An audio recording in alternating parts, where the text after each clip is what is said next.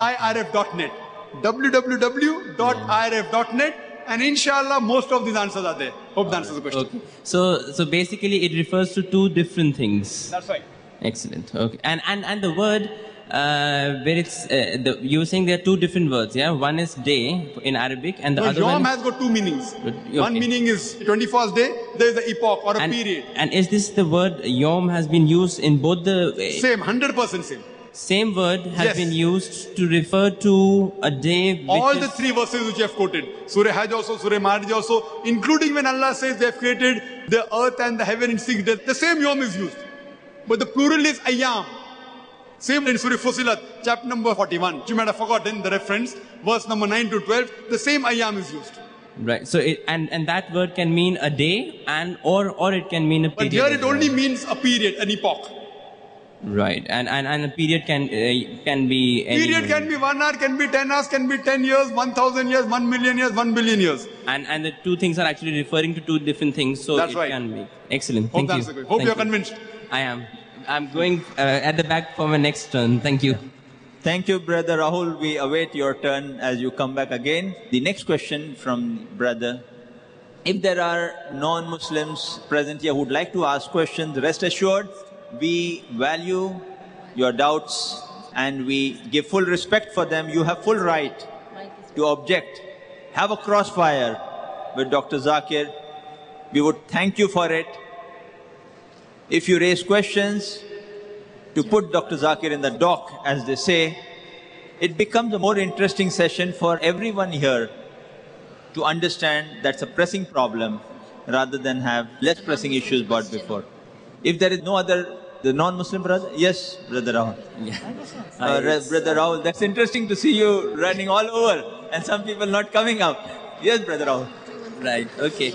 The next question which I have in mind is that uh, you said yesterday, you quoted a line that uh, one of the commandments was said, You shall not make any resemblance of anything that is in the heaven above or in on earth or in the water beneath. Because i your lord your god is a jealous god. Now um, do you do you really think that don't i mean don't you feel that it's a bit petty for god to think uh, jealously or be jealous of the, these things? I thought in my mind that these feelings are limited only to human beings. And god uh, egoism and jealousy i don't think are things which which Well can be asked, a very attributed good question, and I agree with you totally. Why should God be jealous? That is what is mentioned in the Bible. So I'm not saying yeah I didn't read the Bible. Neither do I agree that everything in the Bible is the word of God. Okay, but we That's do what believe, but we do believe that uh, we should not associate anything to God. That's right. So that part. So wh- why does that verse- God get annoyed? Brother, Yeah, if you ask a question, please, after finishing the Sorry, question, let me give a reply. Yeah, sorry. If there is a debate, we can have a debate, no problem. Fine? yeah, no, no, no. Please, Debate is a different thing. This is a question answer time. Okay, please. You ask a question, wait for the reply. If I reply and we keep on interjecting, not that I don't mind, but that becomes an individual dialogue which you can do some other time. No, I'm sorry. Fine? You ask a question, you ask a second question, I give you time. But then if we keep on talking, it will be like a Yeah, I, I like a understand. debate which yeah. you can do. There also, even in debate, we have time. 15 minutes, 15 minutes. You posed a very good question that I quoted a verse that saying that thou shalt not have any given image of anything in the heaven above, in the earth beneath, and water beneath the earth. Thou shalt not bow down to them nor serve them, for I, thy Lord, thy God, is a jealous God. It was a quotation from the book of Exodus, from the Old Testament, chapter number 20, verse number 3 to 5, and the book of Deuteronomy, chapter number 5, verse number 7 to 9. So this is a quotation of the Bible.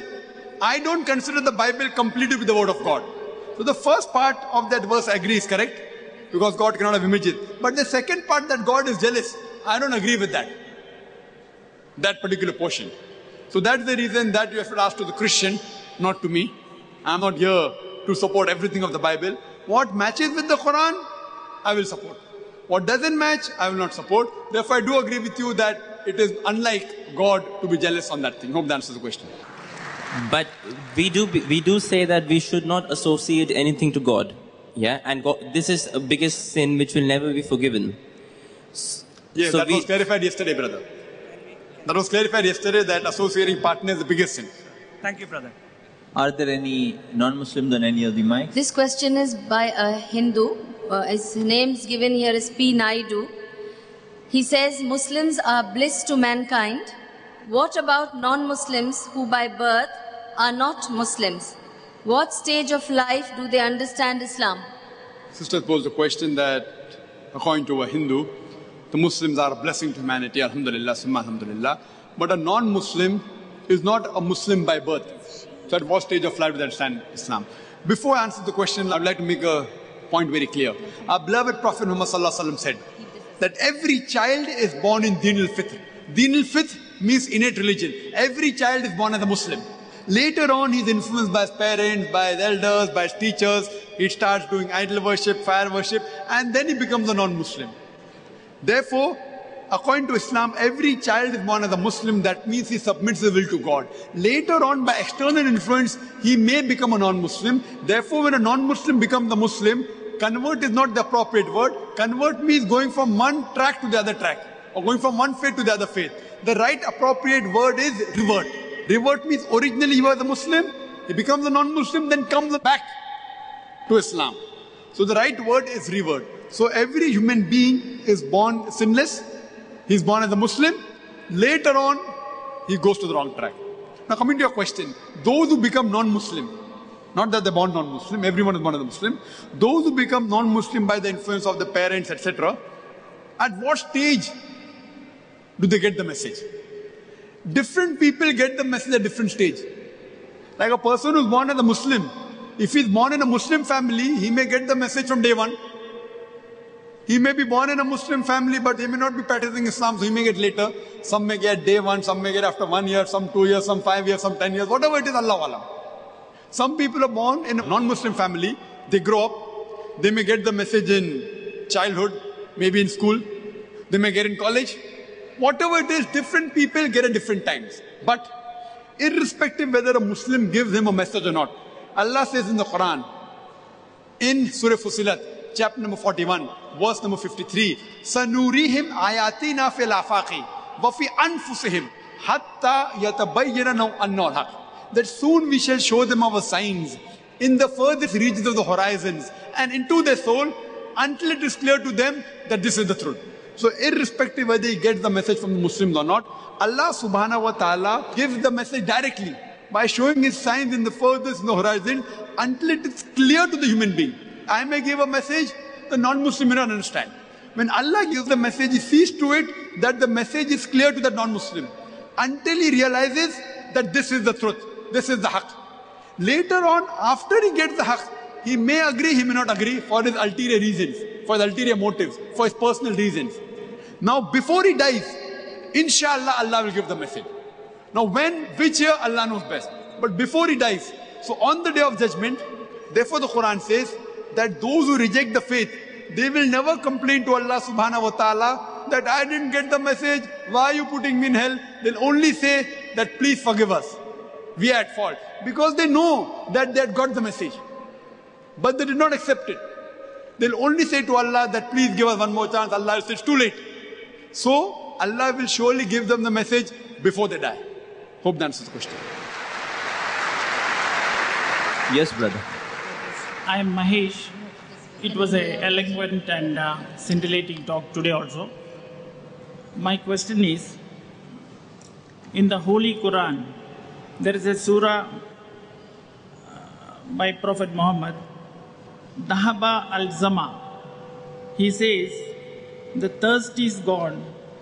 After breaking the fast, he says, thirst is gone and veins are flowing with blood. Can you throw light on that? What the brother, mashallah, has requested the translation of the dua, which we break our fast with. And I appreciate the brother that, mashallah, is coming and he is trying to understand the religion of peace, the religion of truth. And again, I pray to Allah subhanahu to give him hidayah. The brother asked that what does it mean, the dua, when we break the fast? That when we break the fast, we pray to Allah subhanahu wa ta'ala that the thirst is gone and the veins have been vanquished. That before we break the fast, we make dua to Allah subhanahu wa ta'ala that when we are breaking the fast, we are praying that the thirst is gone and we are having the food and the water and are praying to Allah subhanahu wa ta'ala that we were able to complete the fast. And now the time of breaking the fast is there. and now our thirst is going to be vanquished and our hunger is going to be vanquished.